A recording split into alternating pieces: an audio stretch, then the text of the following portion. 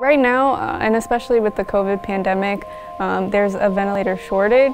Um, we've also seen these ventilator shortages in other scenarios like during natural disasters and in military settings. Um, but basically there aren't enough ventilators and so by increasing the number of patients that can be treated with one ventilator, you're increasing uh, the amount of patients that can be treated.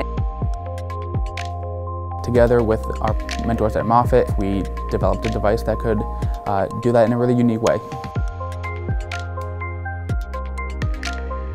The Eucovent is a device that allows healthcare providers to co-ventilate two or more patients using a single ventilator machine. Our device addresses problems that came up with previous solutions for co-ventilation by giving the patients personalized breaths. Our device uses a novel time multiplexing approach where the ventilator works double time, but our device uh, alternates breaths between each patient. So because it's alternating, um, it's effectively like each patient's getting ventilated independently.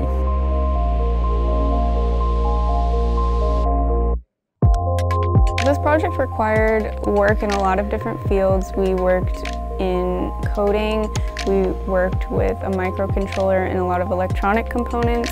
We worked with designing things on SolidWorks in CAD um, and 3D printing them. Being a biomedical engineering undergraduate, this project really merged the two concepts of medicine and engineering. The end goal, of course, is to get the device to the clinical setting so patients can actually benefit from it.